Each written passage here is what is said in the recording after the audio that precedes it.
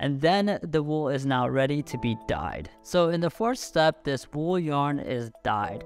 And we're not going to get into the details of the dyeing process, but basically the wool yarn is either dyed with natural dyes such as vegetables, plants, or flowers, or it can be dyed even with chemicals depending on the type of colors that they're trying to create in the wool yarn.